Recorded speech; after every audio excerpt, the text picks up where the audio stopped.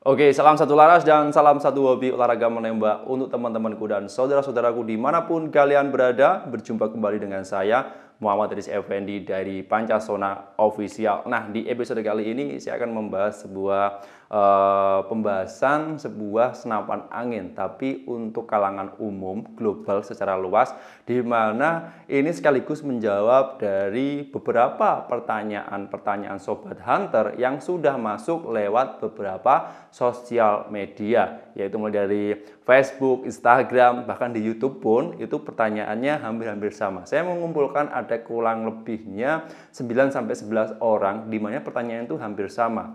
Ini pertanyaannya. Mas, saya cocoknya itu pakai senapan angin yang tipe apa? Modelnya seperti apa? Mungkin ini pertanyaan yang sepele, tapi kalau dicari segi jawabannya itu tidak terlalu berat, juga tidak terlalu ringan. Maksudnya tengah-tengah. Oke, di sini akan saya jelaskan sedikit berdasarkan pengalaman pribadi saya dan beberapa data-data yang sudah saya kumpulkan yaitu di teman-teman kalangan-kalangan sobat hunter yang bahkan profesional ya di kalangan pemburu menggunakan senapan angin dan lain sebagainya itu saya tanya satu persatu dan kesimpulannya nanti seperti apa pastinya simak videonya sampai habis. Oh ya jangan lupa untuk tetap like share subscribe dan nyalakan lonceng channel ini supaya teman-teman tidak ketinggalan updatean video menarik dari saya oke sudah. Kita coba langsung saja mulai. Ngobrol santai satu persatu dan insya Allah ini cukup bermanfaat. Nah, oke, okay, sudah like, sudah share, sudah subscribe, kita coba langsung saja masuk ke pembahasannya. Di sini akan saya bahas dulu, akan saya jawab dulu mengenai pertanyaan yang uh, cocoknya senapan angin untuk masing-masing personal Sobat Hunter itu tidak bisa dipastikan karena setiap senapan angin itu memiliki tekstur atau bawaannya sendiri-sendiri. Sebagai contohnya seperti ini. Saya ada beberapa teman-teman Sobat Hunter, ini riset riset saja ya, riset berdasarkan pengalaman pribadi saya. Saya punya teman-teman di kalangan pemburu yang di sana mereka tuh begitu profesional profesional. Tapi saya lihat senapan anginnya itu uh, pasti itu-itu aja. Senapan anginnya mungkin yang dikuasai saja, itu yang sering dipakai. Saya tanya, pernah iseng tanya, Mas kenapa nggak pakai senapan angin yang ini, yang lebih bagus dibandingkan dengan senapan angin punyanya Mas ini? Jawabannya beliau gimana? Yang pasti jawabannya masing-masing berbeda. Tapi kesimpulannya adalah setiap senapan angin itu punya tekstur sendiri, punya ciri khas tersendiri. Di mana ketika menggunakan senapan angin tersebut itu kayak apa ya? Chemistry-nya itu dapat, kayak jiwanya itu dapat. Beda lagi kalau teman-teman yang mungkin belum menemukan titik di mana senapan angin apa yang cocok. Jadi kami tidak bisa menyimpulkan ya senapan angin apa aja yang cocok. Tapi nanti ada di belakang video itu saya rekomendasikan berdasarkan uh, penggunaan senapan angin yang paling mudah khususnya untuk para pemula. Dan, tapi nanti di belakang kita bahas dulu lanjut ke yang poin pertama dulu ini. Nah, jadi untuk teman-teman sobat hunter yang sering saya jumpai di tempat kami ya di lingkungan kami itu senapan anginnya itu-itu aja karena memang senapan angin tersebut yang dikuasai. Contohnya ada senapan angin uklik itu sering dipakai si Mas ABC. Kalau dia menggunakan senapan angin gejlok itu kayak uh, gimana ya? Uh, chemistry atau jiwanya itu dia mencari kembali bagaimana penggunaan senapan angin tersebut supaya nanti sesuai dengan apa yang diinginkan. Jadi tidak ada patokan, tidak ada aturan pakem di mana cocoknya itu pakai senapan angin jenis apa. Yang jelas saya kembalikan lagi ke teman-teman yang mungkin teman-teman nyaman pakai senapan angin apa, mungkin teman-teman menguasai senapan angin jenis apa, itu yang harus ditekankan di poin ini. Saya tidak bisa uh, memberikan jawaban pasti cocoknya teman-teman itu pakai senapan angin apa karena di sisi lain ada teman-teman yang pro banget, yang ahli banget menggunakan senapan angin uklik. Tapi ketika dia pindah ke senapan angin gejlok ataupun PCP, dia lemah di situ. Nah, itu juga tidak ada uh, tidak ada benar dan salahnya juga karena memang setiap senapan angin itu punya ciri khas tersendiri. Ada juga senapan uh, teman-teman sobat hunter yang pro banget menguasai di senapan angin tipe gejlok ketika dia pindah ke senapan angin uklik ataupun PCP bahkan dengan ya hampir-hampir sama merek ataupun jenisnya itu dia harus mencari kembali titik di mana uh, chemistry dan jiwanya itu di senapan angin tersebut. Jadi Teman-teman, kalau teman-teman tanya, Mas, saya cocoknya harus pakai senapan angin apa? Itu tidak ada jawaban pasti di mana saya harus memberikan sampean harus pakai senapan angin A, B, C, D. Karena setiap skill pengguna itu yang menentukan nantinya. Oke, kita bahas mengenai skill pengguna lanjutan ya. Nah, di sini untuk skill pengguna itu memang menjadi bahan dasar di mana nanti teman-teman itu menggunakan senapan angin jenis apa pun itu juga menentukan nanti hasilnya seperti apa. Contohnya seperti ini. Ada senapan angin yang uklik di mana powernya itu rata-rata di bawah 700 sampai 800 fps dengan penggunaan yang cukup simpel banget. Ketika digunakan di tangan yang tepat, skill yang tepat, itu bisa mendapatkan buruan yang sangat luar biasa keren. Sebagai contohnya, ada beberapa teman-teman sobat hunter yang saya jumpai di lingkungan tempat saya itu menggunakan senapan angin uklik untuk berburu hewan-hewan seperti hama, tupai dan sebagainya di jarak lebih over 50 meter itu bisa karena mungkin skillnya beliau, skillnya dia itu luar biasa. Nah, Biasanya seperti itu. Jadi senapan angin itu berpengaruh nantinya ke depan hasil ataupun yang lain tergantung dari nomor satu yaitu skill pengguna. Sebagus senapan angin apa pun, sekeren senapan angin apa pun, kalau skill penggunanya itu kurang, hasilnya juga kurang maksimal. Begitu juga sebaliknya. Untuk senapan angin yang mungkin dirasa senapan angin ini ya uh, senapan angin kelas bawah lah ya. Tapi kalau skill penggunanya dia bagus, skill penggunanya dia berpengalaman banget, itu hasilnya juga luar biasa. Oke, dari sini mungkin paham atau mungkin ada pertanyaan. Ya nanti kalau uh, teman-teman masih bingung kalau ada pertanyaan yang mengganjal, kurang puas dan lain sebagainya, bisa langsung menghubungi kami lewat WhatsApp yang nomornya sudah saya cantumkan di video ini. Oke, dari uh, pertanyaan yang pertama tadi sudah, kita saya, saya, saya tambahin di sini di belakang.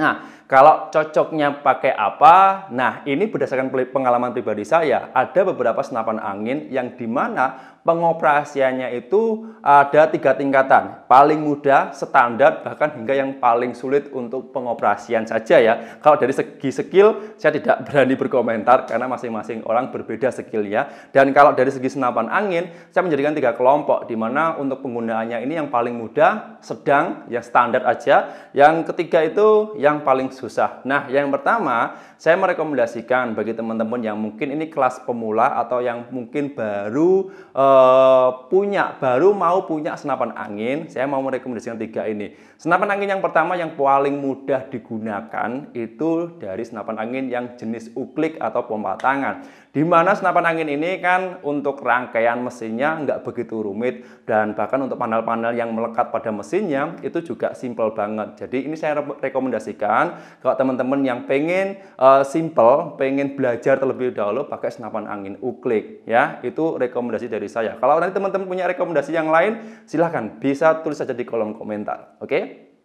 Kita lanjut ke poin yang kedua dari penggunaan senapan angin yang sedang-sedang aja. Maksudnya penggunaannya juga nggak terlalu mudah, juga nggak terlalu sulit. Yang yang kedua itu adalah senapan angin gejluk. Nah, senapan angin gejluk ini kan uh, identik dengan senapan angin powernya sudah hampir bikin uh, besar, power besar. Memang benar karena senapan angin gejluk itu rata-rata powernya minimal itu 900 hingga power paling besar 1100 sampai 1200 lah. Ini kategori senapan angin yang tengah-tengah lah, nggak begitu susah digunakan, juga nggak begitu mudah digunakan. Tapi pastinya kalau dipelajari pasti bisa. Nah, senapan angin gejluk ini saya rekomendasikan untuk teman-teman yang uh, posisinya di lanjut. Jadi sudah pernah pegang senapan angin, tapi pengen menguasai sedikit skill lebih upgrade lebih lebih tinggi itu pakai senapan angin gejluk di mana untuk pengoperasiannya juga uh, apa namanya Eh, nggak begitu susah dan juga nggak begitu sulit tengah-tengah aja itu bisa dicoba dulu nah karena sudah dilengkapi dengan pompa Terus settingan powernya juga bisa diatur, teksturnya uh, power bisa teman-teman sesuaikan nantinya untuk medan di mana buruannya apa saja, itu cocok menggunakan senapan angin gejluk. Oke, sudah dari poin yang kedua uh, ada pertanyaan, kalau ada pertanyaan tulis ada di kolom komentar. Oke, lanjut ke yang terakhir. Ini senapan angin yang paling sulit. Yang saya jumpai sih beberapa kendala ya. Mungkin teman-teman yang belum pernah sama sekali pakai, terus langsung pakai senapan angin jenis yang ketiga ini, itu biasanya 90%, 80% sampai 90% itu ada kendala, yaitu senapan angin jenis PCP. Nah, senapan angin jenis PCP ini yang, yang menurut saya pribadi itu untuk penggunaannya memang kelas tersulit dibandingkan dengan senapan angin senapan angin yang tadi uklik ataupun senapan angin gejlok karena senapan angin PCP ini sebenarnya simple hampir hampir sama dengan senapan angin gejlok tapi untuk perawatan, terus ketika menggunakan dan sebagainya itu ada beberapa perhatian khusus di mana nanti ketika disalahgunakan, salah pengoperasian dan sebagainya itu bisa menyebabkan kerusakan. Nah, itu yang sering terjadi di pengguna senapan angin PCP. Jadi, saya kembalikan ke teman-teman semuanya. Kalau saya harus menjawab senapan angin apa yang cocok untuk teman-teman sobat hunter, ya jawabannya bisa saya kembalikan ke teman-teman. Teman-teman uh, tergantung skill dari masing-masing. Mau pilih yang senapan angin apa aja bisa. Tapi kalau rekomendasi bagi saya pribadi untuk teman-teman sobat hunter, saya bagi saya bagi menjadi tiga kelompok tadi. Senapan angin yang mudah banget digunakan atau yang uh, cocok nanti digunakan untuk para pemula yang yang mungkin masih baru pertama kali punya senapan angin. Itu yang pertama bisa pakai uklik, yang kedua tahapan yang kedua bisa bisa pakai gejluk. Yang ketiga, pilihan terakhir yang agak begitu profesional banget itu pakai jenis PCP. Oke, saya kembalikan ke teman-teman. Mau pilih yang mana? Yang jelas nanti bisa dibicarakan terlebih dahulu, bisa konsultasi terlebih dahulu dengan kami dan kami siap membantu.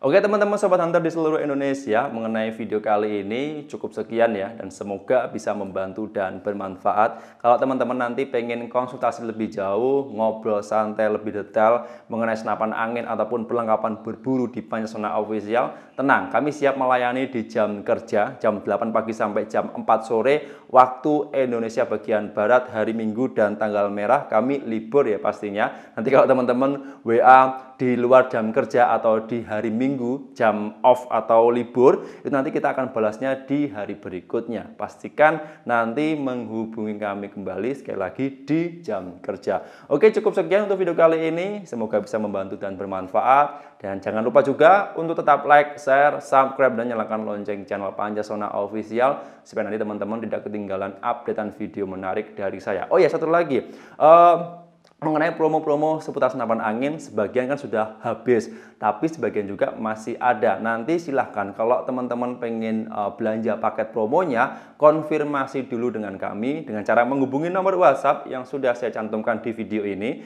ya. Atau nanti bisa langsung aja klik link yang ada di kolom deskripsi di bawah. Oke cukup itu saja. Saya Muhammad Deris Effendi dari Panyasona Official harus pamit undur diri. Kita berjumpa lagi di episode berikutnya. Sekian terima kasih. Salam satu lalas dari Kediri, Jawa Timur. Bye.